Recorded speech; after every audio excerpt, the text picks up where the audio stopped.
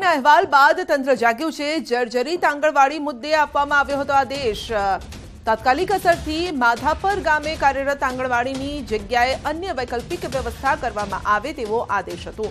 Standing committee chairman Pushkar પટેલે આપ્યો અને સાથે જ પુષ્કર પટેલે કહ્યું કે માધાપર ગામે આગામી સમયમાં નવી આંગણવાડી બનાવવામાં આવશે. નોંધનીય છે કે રાજકોટમાં ભૂલકાઓ માથે મોત ભમી રહ્યું છે. માધાપરમાં જર્જરિત ઇમારતમાં ભણે છે બાળકો. બજેટમાં જોગવાઈ છતાં નથી બની નવી આંગણવાડી. સ્થાનિકોનું કહેવું છે કે વીસ વર્ષ જૂનું બાંધકામ છે. દિવાલોમાં દેખાઈ રહી છે મસમોટી તિરાડો. મનપાની ચૂંટણી પહેલા રાજકોટ મનપામાં ભણ્યું છે માધાપર પરંતુ સુવિધા નથી મળી. દરેક વર્ષે આપણે બજેટ એડમાં એની જોગવાઈ પણ અલગથી કરી છે. આ વખતના બજેટમાં પણ આંગણવાડી, નવી આંગણવાડી માટેની બજેટમાં જોગવાઈ કરેલી છે. અને નવા ગામો ભરેલા છે એમાં પણ વૈકલ્પિક જગ્યાઓ શોધી અને એના ઉપર આંગણવાડી સારામાં સારી બને. એના માટે કોઈ બજેટની ઇસ્યુ નથી અને અમારી કામગીરી એમાં ચાલુ છે. આ સુવિધામાં જો આ બાલ મંદિર સરખું કરાવી દે તો બહુ સરસ. ખાસ કરીને ચોમાસામાં તો બહુ જ તકલીફ પડે છે. કયા પ્રકારની તકલીફ બેન પડે છે? પાણીથી બાલ મંદિરની અંદર આવી જાય છે. એટલે બાળકોને એમ થાય બીક લાગે રાખે કે એના કરતાં કે બીજે જગ્યાએ હોત આટલામાં તો સારું એમ. છોકરાઓ સરખી રીતે ભણી શકે અંદર. પ્લાસ્ટર પણ ઉખડી ગયું છે શું એ તો હવે કે દિવસનું છે તો હવે એમાં કંઈ કરતી નથી સરકાર અમે તો કહી ઘણું આંગણવાડીના કાર્યકર્તાને કે કરો એમ સરખું. માધાપર ગામ આમ તો મહાનગરપાલિકાની ચૂંટણી પૂર્વે જ રાજકોટ મનપાની હદમાં ભળી ચૂક્યું છે. તેમ છતાં જોઈ શકાય છે કે અઢી વર્ષ બાદ પણ અહીંના જે ભૂલકાઓ છે તે જર્જરિત આ જે મકાન છે. તેની અંદર અભ્યાસ કરવા માટે મજબૂર બની રહ્યા હોય તે પ્રકારના દ્રશ્યો છે તે સામે આવી રહ્યા છે. અહીંયાના જે લોકો છે તે પણ કહી રહ્યા છે કે અન્ય જે જગ્યાએ સ્માર્ટ આંગણવાડીઓ બનાવવામાં આવી છે તે જ પ્રકારની સ્માર્ટ આંગણવાડી છે. તે રાજકોટ મહાનગરપાલિકા દ્વારા માધાપર ગામે પણ બનાવવામાં આવી જોઈએ. જોઈ શકાય છે કે અહીંયા જે બાળકો છે તે પણ અત્યારે અભ્યાસ કરી રહ્યા છે. ચોક્કસ સ્થાનિકોનું કહેવું છે કે અહીંયા જે આંગણવાડીના જે બે બહેનો જે કાર્યરત છે તેમના દ્વારા બાળકોને સારું શિક્ષણ છે તે આપવામાં આવે છે. સાથોસાથ બાળકોને પોયમ છે તે પણ શીખવાડવામાં આવે છે. તો બીજી તરફ મહાનગરપાલિકાની અંદર માધાપર ગામ ભળી ચૂક્યું, તેને અઢી વર્ષનો સમય વીતી ચૂક્યો છે. તેમ છતાં મહાનગરપાલિકા દ્વારા તેમજ અહીંના સ્થાનિક કોર્પોરેટરની ઉદાસીનતાના કારણે આ બાળકોના માથે મોત ભમી રહ્યું હોય તે પ્રકારના દ્રશ્યો છે, તે સામે આવી રહ્યા છે. સ્થાનિકોના જણાવ્યા પ્રમાણે આ જે બિલ્ડિંગ જે આપ જોઈ રહ્યા છો, આ જર્જરિત થઈ ચૂક્યું છે અને અંદાજિત વીસ વર્ષ પૂર્વે આનું બાંધકામ છે તે કરવામાં આવ્યું હતું. જે ખિલાસરી છે તે પણ જોઈ શકાય છે કે કઈ રીતે હવે દેખાઈ રહી છે, પોપડાઓ છે તે પણ ખાસ કરીને ખરી ચૂક્યા છે. ખાસ કરીને ચોમાસાની અંદર અહીંના જે જે ખાસ કરીને બાળકો છે, તેમજ તેમના વાલીઓ કે જે તેમને અહીં મૂકવા આવે છે, તેમને પણ ખાસી તકલીફ પડતી હોવાનું છે. તે સામે આવી ચૂકે, ચૂક્યું છે. બીજી તરફ વાત કરવામાં આવે તો અહીં જે દિવાલો છે, તેની અંદર મસમોટી તિરાડો છે. તે પણ જોવા મળી રહી છે. ત્યારે માધાપર ગામના આ જે ભૂલકાઓ છે, તે પણ અન્ય ભૂલકાઓની માફક ઈચ્છી રહ્યા છે કે તેમને પણ સ્માર્ટ આંગણવાડી છે તે આપવામાં આવે અને સાથોસાથ તેમનું જે આંગણવાડી છે આ જર્જરિત તેને નવીનીકરણ તેમાં કરવામાં આવે. કેમેરામેન અભય ત્રિવેદી સાથે અંકિત પોપટ, ન્યૂઝ એટીન, ગુજરાતી રાજકોટ. આણંદ જિલ્લાના કાનવાડા ગામની પ્રાથમિક શાળામાં જીવના જોખમે ભણી રહ્યા છે બસો પાંસઠ વિદ્યાર્થીઓ. તારાપુર તાલુકાના કાનવાડા ગામમાં પચાસ વર્ષ પહેલા બાંધેલી સરકારી શાળાની સ્થિતિ દયનીય છે.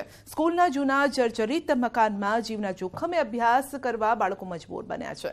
શાળાની દયનીય સ્થિતિ જોતા વાલીઓ પણ ચિંતિત છે. જર્જરિત શાળાના ઓરડાને તોડી નવા ઓરડા બનાવવા વાલીઓ માંગ કરી રહ્યા છે. શાળાના સંચાલક અને ગામના સરપંચે અનેક વખત લેખિતમાં રજૂઆત કરી પરંતુ રજૂઆતો જવાબદાર વહીવટીતંત્ર ને સંભળાતી નથી. તે એક મોટો સવાલ છે. બાળકો પર જીવનું જોખમ છે.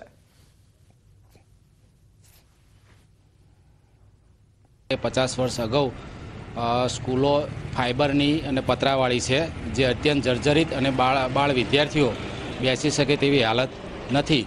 કુલ બે ડેમેજના સર્ટીવાળા રૂમ છે. ડેમેજ સર્ટી મળી ગયું છે. અને બાકીના પાંચ રૂમો જે છે પતરાવાળા એ જર્જરિત છે, જે રિપેરિંગ થઈ શકે તેમ ન હોવાથી એને પાકા બનાવવા માટે, જે દરખાસ્તની પ્રોસેસ છે, એ શાળા કક્ષાએથી આપણે ચાલુ કરી દીધેલ છે. ઉત્તર ગુજરાતમાં હવે વહીવટદારોનું શાસન. જી હા મહેસાણામાં ત્રણ પાલિકામાં વહીવટદાર મૂકવામાં આવ્યા છે. પાંચ વર્ષની સત્તા પૂર્ણ થતા વહીવટદારો મૂકવામાં આવ્યા છે. બીજી તરફ સાબરકાંઠા, પાટણ અને બનાસકાંઠામાં વહીવટદારો મૂકવામાં આવ્યા છે. રાજ્યમાં છોતેર નગર છોતેર પાલિકાઓમાં પાંચ વર્ષની મુદ્દત પૂર્ણ થઈ છે અને જેને લઈને આગામી ચૂંટણી સુધી વહીવટદારનું શાસન રહેશે.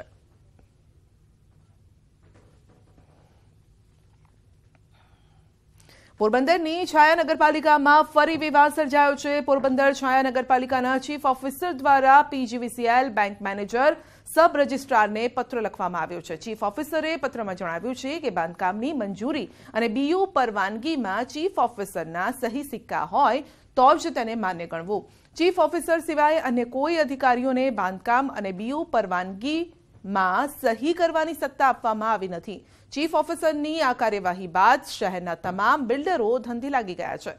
પોરબંદરમાં ઓગણીસો છ્યાસીથી ગેરકાયદેસર પૈસા કમાવાની લાલચમાં સત્તા વિનાના પ્લાનિંગ અધિકારીઓ મંજૂરી આપતા આવ્યા છે.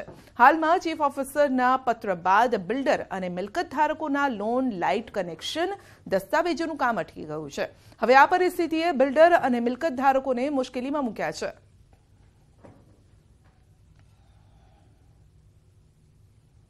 મૂંઝવણી છે કે અટના ચેરમેનની સાઇન નથી ચલાવતા, ચીફ ઓફિસરની ચલાવે છે. ને જીબીમાં બધામાં ના પાડે છે, દસ્તાવેજમાં ના પાડે છે જીબીમાં ના પાડે છે, બરાબર? એટલે એ હિસાબે પ્રશ્ન મૂંઝવાય છે બધા ચેરમેનની સાઇન ઉપર અટન સુધી ઓગણીસો છ્યાસીથી એમને ચેરમેનની સાઇન ઉપર જ બધું ચાલતું હતું. હવે બધું બંધ થઈ ગયું છે કે ચીફ ઓફિસરની સાઇન લઈ આવો. તો આ લોકો બધા લેવા ક્યાં જાય ચીફ ઓફિસરની અમે લોકો કેની પાસે જઈએ હવે? જે ટાઇટલ ક્લિયર રિપોર્ટ આપવા હોય એ ટાઇટલ ક્લિયર રિપોર્ટ મળતા નથી. અને એના માટે એના એના નામે અમને લોન થતી નથી. એના નામે બધા દસ્તાવેજ ન થાય. રજિસ્ટર અટકી જાય. મી- માનો કે મીટર છે તો મીટર આપવાનું કદાચ ના પાડે છે. અને હજી અમે કંઈ મીટરની એપ્લિકેશન નથી કરી પણ મીટર એમની એપ્લિકેશન જેને કરી એને એમ કીધું કે ભાઈ આવો જીઆર આવ્યો અને અમને ચીફ ઓફિસર સાહેબે સૂચન કર્યું એટલે અમે આપી નહીં શકીએ. નગરપાલિકા અધિનિયમ પછી ટાઉન પ્લાનિંગ ડેવલપમેન્ટ એક્ટ અને અન્ય જે સરકારના નિયમો છે, તે અન્વયે બાંધકામ પરવાનગીની જે સત્તા છે, એમાં બાંધકામ પરવાનગીમાં સહી કરવાની સત્તા ચીફ ઓફિસર પાસે છે. એની એમણે એમને જાણ કરી છે. અને તે અન્વયે એમણે જે પણ પોતાના, એમના નિયમો છે એ મુજબ એમણે કાર્યવાહી કરવાની રહે છે. વડોદરા શહેર કોંગ્રેસ મહામંત્રીનું રાજીનામું મહામંત્રી એલ્ડ્રીન થોમસે રાજીનામું આપ્યું છે. કોંગ્રેસના તમામ હોદ્દા પરથી રાજીનામું આપ્યું છે. કોંગ્રેસની નિષ્ફળતાથી નારાજ થઈ રાજીનામું આપ્યું, તેવું તેમણે જણાવ્યું છે. શહેર કોંગ્રેસ પ્રમુખને રાજીનામું સોંપ્યું છે. કોંગે હોદ્દેદારો અને કાર્યકરો આપશે રાજીનામા. ગુજરાત પ્રદેશ માઇનોરિટી સેલના મંત્રી પણ હતા એલ્ડ્રીન થોમસ.